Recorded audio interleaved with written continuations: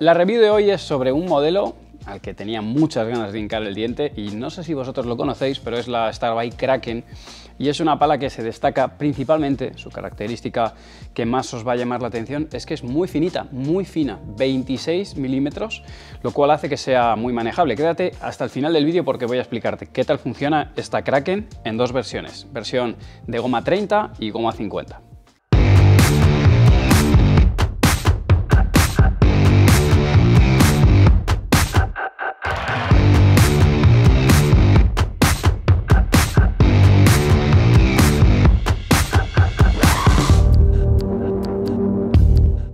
Hola a todos padeleros y bienvenidos una semana más al área de review y hoy os traigo la Kraken. Es eh, un modelo de pala muy peculiar, yo entiendo que no a todo el mundo le va a gustar al menos de primeras, pero bueno, tenía muchas ganas de probarla, me la mandó Starbuy y eh, es eh, sinceramente, pues la verdad que muy interesante haberla probado, son sensaciones que a mí me recuerdan a otras palas del pasado, y ha habido otras marcas que, han intentado, eh, bueno, o, que han sacado este tipo de producto, véase Sane, véase Acheron, y, y bueno, pues estoy seguro de que no os va a dejar indiferente y creo firmemente que vais a quedaros con las ganas de probarla, así que bueno, para esta review tenemos la suerte de contar con Juanjo Gutiérrez, que no solamente eh, trabaja como, como, manager de jugadores eh, en la marca Starbuy, sino que además es que ha estado en el desarrollo del producto desde el minuto cero. Por lo tanto, pocas veces tenemos la oportunidad de, contar, bueno, en este caso Juanjo no solamente es seleccionador nacional español, sino ah, eh, está dirigiendo la escuela, el centro de alto rendimiento de Starbuy y además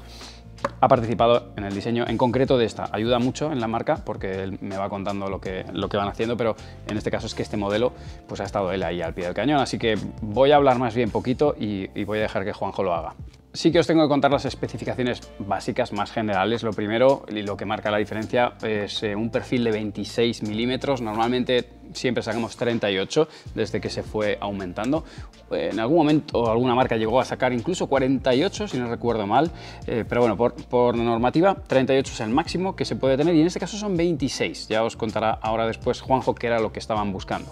El rugoso, como veis, no es un rugoso arenoso, sino que está protegido por el barniz de la pala, así que no se va a perder con el tiempo. Y encontramos un patrón de agujeros que, de nuevo, ya os contará eh, Juanjo, es muy espaciado, es amplio, tiene menor número de, agujeros y que también tiene un motivo. Eh, está todo pensado, orientado a encontrar punto dulce y a mejorar la maniobrabilidad de la pala. Es una pala de carbono, en ese sentido eh, no, cambian sus componentes, pero sí que es cierto que tiene dos tipos de goma, goma 30, goma 50. La goma 30 es una goma eh, de menor densidad y por lo tanto es, eh, tiene un tacto más blando, más cómodo, reacciona más, de manera más lenta a los cambios, de, a los cambios de, velocidad de la pelota y sin embargo la goma 50 pues es más reactiva, ¿vale? Luego os explicaré mis sensaciones en pista y os explicaré también, os explicará Juanjo por qué han elegido estos dos tipos de goma un corazón eh, que para mi gusto lo noto ancho cuando, cuando agarro la pala, pero ya lo, ya lo veréis, eh, lo veréis en, pista, no es incómodo, pero bueno, se nota ancho, y un grip que nos cuenta Juanjo que han aumentado en longitud y que se siente fantástico, a mí me gusta, me gusta los grip mm, más largos, ¿vale? Pero bueno, goma tradicional de toda la vida de Starbuy, eso no cambia, viene sin protector, no sé cómo vais a hacer para ponerle protector porque os va a sobrar protector por todas partes, pero bueno, eh, es una buena pregunta que hay que hacerse. Los pesos los estáis viendo ahora mismo en pantalla, no me los sé de memoria, pero creo que estaban en los 360. eran bastante ligeritas estas palas y esto es algo que, luego, lógicamente, se, nota a la hora de, los tiros de, potencia ¿no? y por encima de la cabeza. Y lo mismo, la longitud del grip, que es algo que venimos ya eh, midiendo en todas las palas, así como el balance. ¿vale? Aquí tenéis los datos, que sé que os interesan a muchos.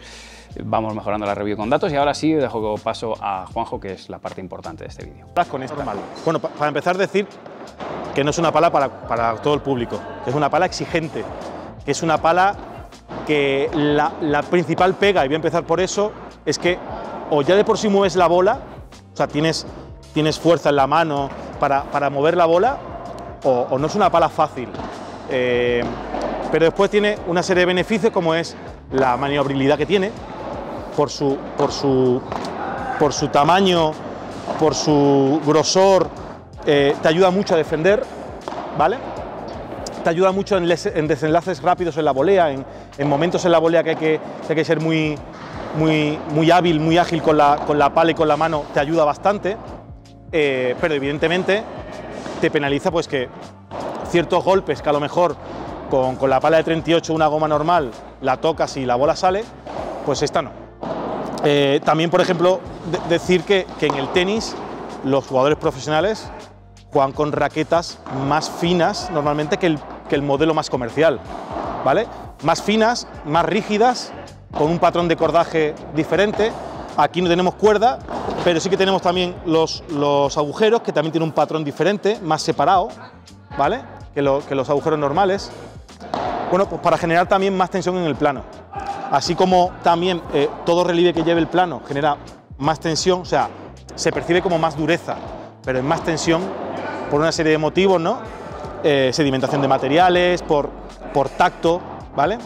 Eh, bueno, pues esta pala necesita ser muy rígida, necesita ser muy reactiva, o sea, poco flexible y que la goma sea muy reactiva, que es lo que verdaderamente define a, a que la bola salga.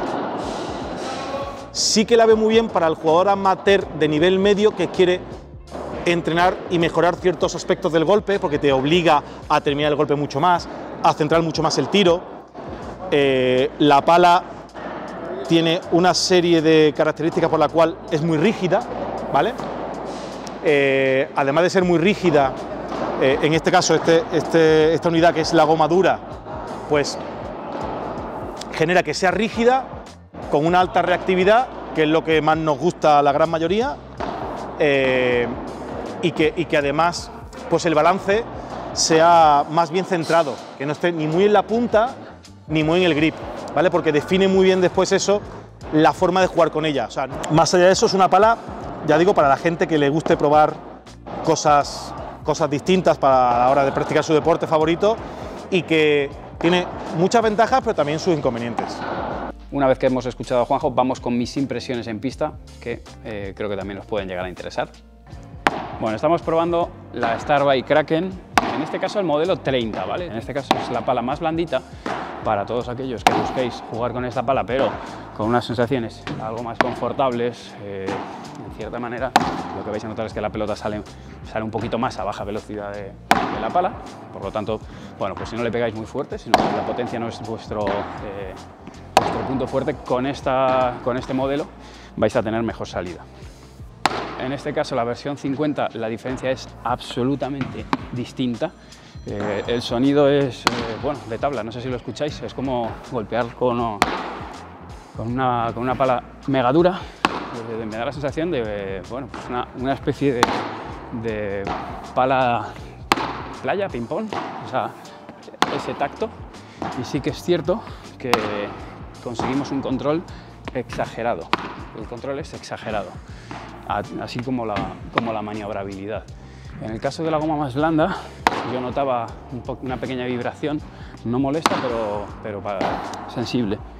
Y en este caso lo que noto es un control, creo que no he sentido muchas palas. ¡Ay!